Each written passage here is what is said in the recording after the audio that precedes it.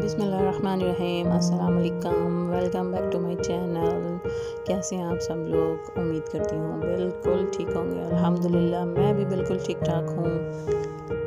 तो आज बहुत ही इंटरेस्टिंग टॉपिक है जी, ईद की शॉपिंग माशाल्लाह से मेरी बच्चों की हस्बैंड की सबकी शॉपिंग हो गई है और ये मैं अपने सूट सूट आपका आज का व्लॉग बहुत ही इंटरेस्टिंग होने वाला है। तो व्लॉग आपने देखना है एंड तक और अगर मेरा व्लॉग आपको अच्छा लगे तो मेरे चैनल को लाइक करें सब्सक्राइब करें और शेयर करें। और ये जी मेरे ड्रेसेस जो हो रहे हैं और मैंने दो सूट स्टिच करवाए हैं और ये देखें थोड़ा सा मैंने इसके ऊपर लेसेस लगवाई हैं और ये बहुत ही प्यारा बीट्री से मैंने एक सूट मंगवाया था और उसके साथ और गेंजा का दुपट्टा ईद वेयर के लिए फैंसी है और ये दूसरा मेरा सूट है और इसके ऊपर भी थोड़ी एम्ब्रॉयड्री हुई है और ये देखिए और साथ इसमें भी ये वाला दुपट्टा है, थोड़ा फैंसी टच आ रहा है ब्रोशिया टाइप है अंदर और दूसरा सूट भी मेरा आज स्टिच होके आ गया तो माशाल्लाह मेरे दोनों सूट रेडी हो गए हैं और बच्चों के भी रेडी हो गए हैं और माशाल्लाह से उनके पर्सेस और आपको पता है बच्चों की तो बहुत ज़्यादा एक्साइटमेंट होती है। बड़ों की तो इतनी नहीं होती, बड़ों ने तो ईद पे काम ही करना होता है और माशाल्लाह बच्चों की बहुत सारी छोटी छोटी चीज़ें बैंगल्स बेटियों की और कौन मेहंदी और चूड़ियाँ लिपस्टिक्स नेल पॉलिश बहुत ज़्यादा चीज़ें होती हैं। तो ये मैं अपनी छोटी बेटी को बाज़ार लेके आई थी और साथ साथ मैं आपको भी विज़िट करवा रही हूँ। बाद में हमें थोड़ी सी भूख लग गई और यहाँ मैंने दही वाले खाए, अपनी बेटी को भी साथ खिलाए और फिर हमारे अंदर अगेन मोटिवेशन आ गया और हमने और जी बढ़ के शॉपिंग की।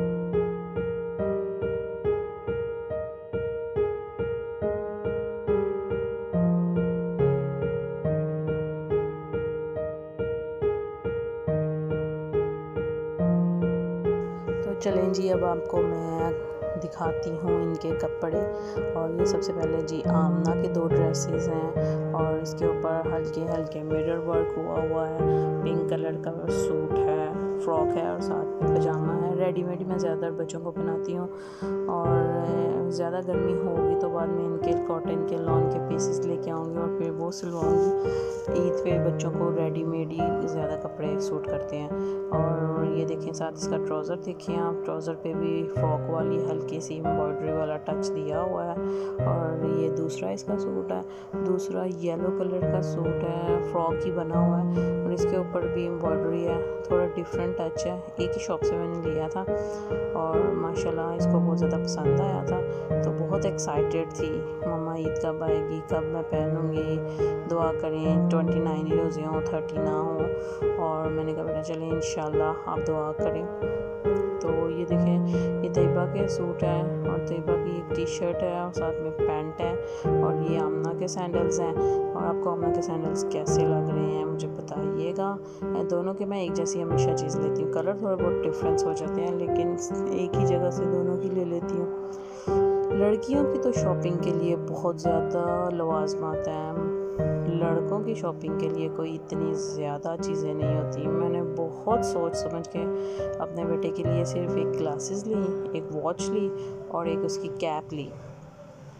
और ये देख के कह रहा था कि मम्मा मेरा क्या लेके आई हैं? मैंने कहा, बेटा आपका सूट लेके आई हूँ और ये दो तीन चीज़ें हैं। अब आपको कुछ और ज़्यादा से ज़्यादा मैं एक वॉलेट ले आती लेकिन उस टाइम मेरे जहन में आया ही नहीं कि इसके लिए वॉलेट भी ले आऊँ। और ये देखें, ये आमना का पर्स है, बहुत ही प्यारा पर्स है। इसके अंदर इसने अपनी सारी ज्वेलरी और मेहंदी डिज़ाइन के लिए इसने वो डिज़ाइन मंगवाया था, वो भी डाल लिया। और ये तयबा का दूसरा सूट है और ये बहुत ज़्यादा एक्साइटेड थी। शॉपर में डाल डाल के कपड़े अपने अलहदा सेपरेट सेपरेट रख रही थी कि ये मेरे कपड़ों को कोई टच ना करे। ये कपड़े मैं ईद पे पहनूँगी और मैं बहुत प्यारी लगूँगी, आप ही से ज़्यादा प्यारी लगूँगी। और ये देखें, ये दूसरा सूट भी दिखा रही है, ये भी रेडीमेड है। सी फ्रॉक बनी हुई है नीचे चुन्नट हल्की सी लगी हुई है फ्रॉक बनी है और ये दिवा के हो गए सूट और साथ में ये इसके सैंडल्स हैं से, सेम एक के सिल्वर थे और इसका थोड़ा गोल्डन है।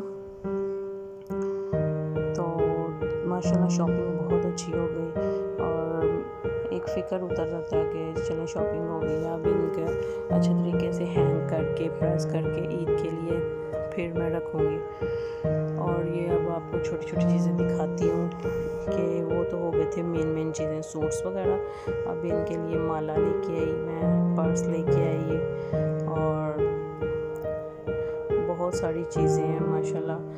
शौक़ आमना तयबा को बहुत ज़्यादा होता है चीज़ें लाने का, लेकिन जहाँ ईद गुज़रती है, सारी चीज़ें इनकी बिन में चली जाती हैं। अभी छोटी हैं, ज़्यादातर अपनी चीज़ों की टेक केयर नहीं करती। तो कोशिश करती हूँ, इनके अंदर अवेयरनेस पैदा करूँ कि बेटा ये चीज़ें आपने संभालनी हैं, इसको आप नेक्स्ट भी यूज़ कर सकते हैं फ़ंक्शन वगैरह में। तो आहिस्ता आहिस्ता गाइड कर रही हूँ इन इनको एक तो आठ साल किया और एक छः साल किया। माशाल्लाह और साल, डेढ़ साल तक दोनों में काफ़ी ज़्यादा चेंजिंग आएँगी। इन्हें अपनी रिस्पॉन्सिबिलिटीज़ का पता चल जाएगा कि किस तरह हमने अपनी चीज़ों की टेक केयर करनी है, किस तरह हमने इनको संभालना है। तो इन टाइम के साथ साथ होप फॉर बेस्ट बच्चों को आहिस्ता आहिस्ता बताते रहना चाहिए और इनको बताना चाहिए कि बेटा देखें, मामा भी तो सारा दिन काम करती हैं आपके लिए, आप लोग पढ़ के आते हैं, चलें मामा के साथ थोड़ा टाइम स्पेंड करें, मामा की भी हेल्प किया करें, मामा आपका होमवर्क देखें, अपने बच्चों के साथ ना टाइम स्पेंड करना चाहिए। ये बहुत एक क्वालिटी टाइम होता है बच्चों के साथ जो स्पेंड करती है ना, देखें बच्चे सारा दिन स्कूल होते हैं। और माएँ अपना घर का काम करती रहती हैं। और जब मैं इनको साथ थोड़ा इंट्रैक्शन करती हूँ तो वो माशाल्लाह फिर स्कूल की स्टोरीज सुनाती हैं। मम्मा, आज स्कूल में ये हुआ, मेरी फ्रेंड ने ये कर दिया और फिर मैंने उसे आगे से ये कहा।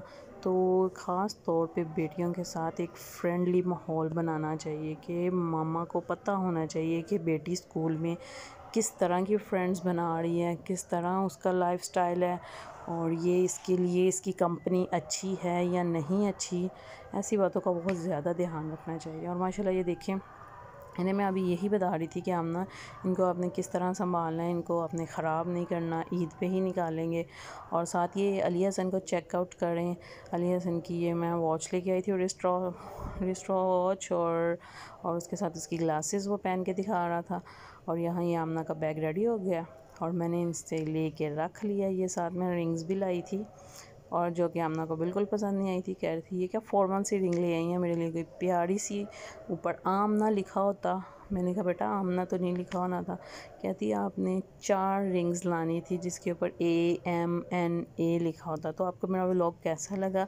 अगर अच्छा लगा तो लाइक सब्सक्राइब और शेयर करें। Thank you so much for watching take care अल्लाह हाफिज़